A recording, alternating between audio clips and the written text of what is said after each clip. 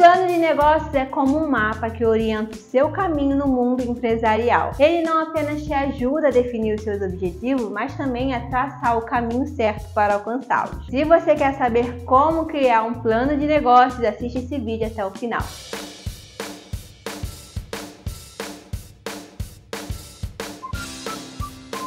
Primeiro de tudo, precisamos estar alinhados sobre o que é um plano de negócios, não é mesmo? Um plano de negócios é um documento que descreve os seus objetivos, estratégias e os meios financeiros necessários para alcançar as suas metas. Ele é crucial para orientar o crescimento e desenvolvimento interno da sua empresa. Mas calma, porque não é tão difícil quanto parece. Existem alguns componentes fundamentais para criar esse documento. Então, já anota aí todos eles.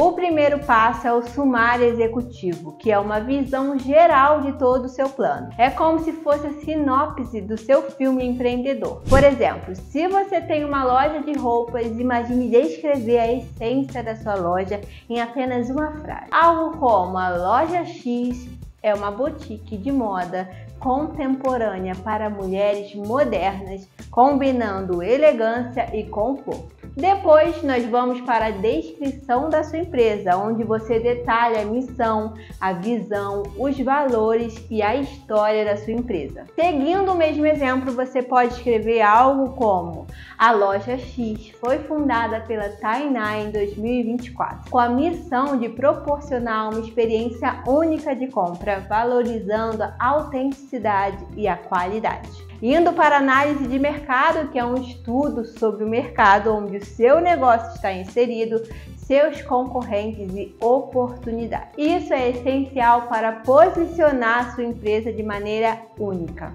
Então, nesse ponto, você pode pôr algo como a loja X identificou uma oportunidade no mercado local, oferecendo uma seleção exclusiva de marcas de moda sustentável, além de preencher muitos detalhes sobre o mercado e os seus concorrentes. Faça um estudo, uma análise precisa. Agora nós vamos falar da organização e da gestão, que é a estrutura organizacional, a equipe de gestão e as suas responsabilidades. Então aqui você pode pôr algo como: a equipe da loja X é liderada pela Tainá com experiência de 10 anos na indústria de moda, garantindo uma curadoria única de produtos. Lembre-se, é para você preencher de acordo com o seu negócio, os seus dados da sua empresa, combinado? No tópico sobre produto ou serviço, você vai descrever o que você oferece os seus diferenciais e como isso atende às necessidades do mercado. O nosso exemplo vai ficar assim: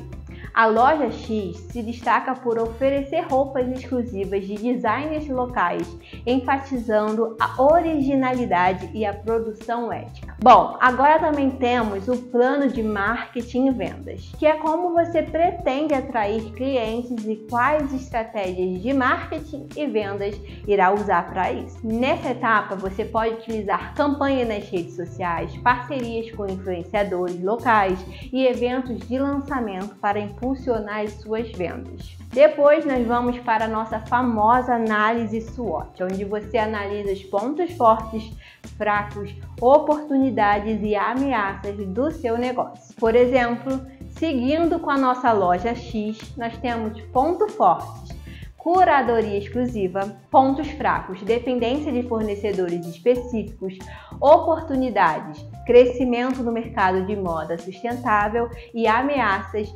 sazonalidade. E por fim, nós temos o último ponto do nosso plano de negócio, que são as projeções financeiras, onde você faz uma estimativa das suas receitas, despesas, fluxo de caixa e lucratividade. Você pode preencher algo como: projetamos um aumento de 15% nas vendas anuais, baseado no aumento da demanda por produtos sustentáveis e em nossas iniciativas de marketing. Bom, com essas dicas, vimos que um plano de negócios é crucial para o sucesso a longo prazo, não é mesmo? E se você está começando um negócio ou procurando crescer, reserve um tempo para criar o seu plano sólido. Agora, se você já elaborou um plano de negócios ou tem dúvidas sobre esse assunto, compartilhe aqui nos comentários abaixo para continuarmos essa conversa. Se você gostou desse vídeo, não se esqueça de se inscrever no canal para acompanhar outras sobre empreendedorismo, curtir e compartilhar esse conteúdo com empreendedores de sucesso como você. A gente se vê no próximo conteúdo. Tchau!